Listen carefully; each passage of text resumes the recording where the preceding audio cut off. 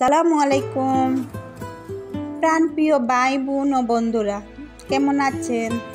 আশা করি ভালো আছেন। আপনাদের দোয়া এবং ভালোবাসা আমিও ভালো আছি, আলহামদুলিল্লাহ। আজ কিন্তু শুক্রবার। শুক্রবার মানে একটু বাড়তি আমের, স্পেশাল রান্নাবান্না খাওয়া দাওয়ার আয়োজন। শুধু আমি না, অধিকাংশ পরিবারে এমনই হয়।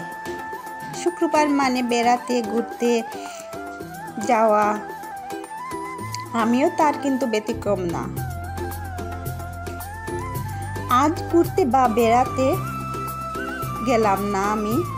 ঘরে বসে স্পেশাল রান্নাবান্না খাওয়া দাওয়ার মাঝে কাটালাম। ক্যামেরা বন্দি করে রাখলাম, যাতে আপনাদের সাথে একটু শেয়ার করতে পারি। আশা করি আপনারা ভিডিওটি না টেনে টেনে দেখবেন। সবাই তো বেগুন দিয়ে, বেসন দিয়ে বেগুনি তৈরি করে। আজ আমি একটু ভিন্ন ধরনের রান্না করতেছি। আলু আর বেসন দিয়ে আলুনি তৈরি করব। এখানে বেসনটা সব কিছু দিয়ে গুলে নিলাম। আপনাদের কিন্তু দেখালাম, মুখে আর বললাম না।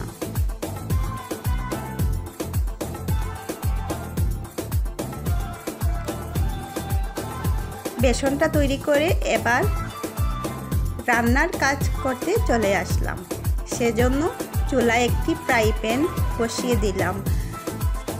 ফ্রাই প্যানটা গরম হয়ে আসলে আমি এই আলুনিটি ভাজার জন্য তেল দিলাম। আর এই তো একে একে আমি বেসনের মধ্যে চুবিয়ে চুবিয়ে আলুগুলোকে দিয়ে দিচ্ছি। আলুটা কিন্তু আমি আগে থেকে কেটে কুটে সামান্য লবণ দিয়ে সেদ্ধ করে রেখেছিলাম। আমি পুরোপুরিভাবে সেদ্ধ করিনি।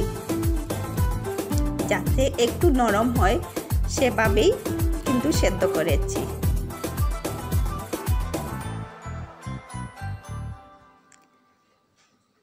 একে একে আমি সব কয়টা আলু দিয়ে দিলাম তেলের মধ্যে।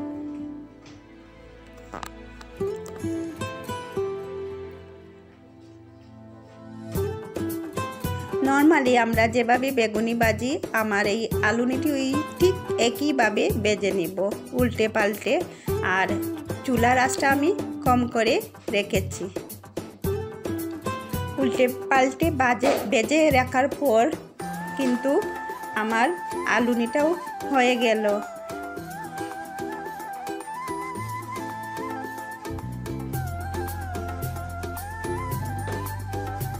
এভাবেই আমি সব কটিয়া আলু ভাবেই ভেজে নিব।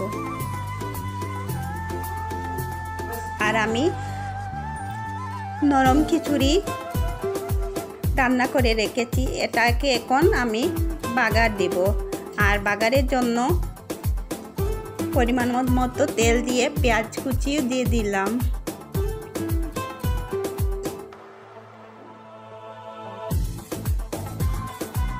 দুইটা শুকনো মরিচও দিয়ে দিলাম। সেটিকে আমি ভালোভাবে বেজে নিচ্ছি। আমি নরম খিচুড়ি রান্নার জন্য খিচুড়ির মধ্যে সব কিছু দিয়ে দিয়েছি। তো যেমন আদা, পেঁয়াজ, হলুদ, লবণ, তেজপাতা, অর্থাৎ যে যে উপকরণ নরম খিচুড়ি বানাতে লাগে সেগুলোই দিয়ে দিয়েছি। আমার বাগারটাও হয়ে গেছে, আমার, এবার আমি বাগারটা খিচুড়ির মধ্যে ঢেলে দিলাম।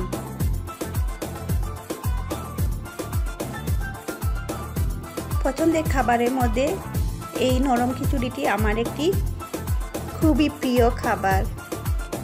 এই তো তৈরি হয়ে গেল মজাদার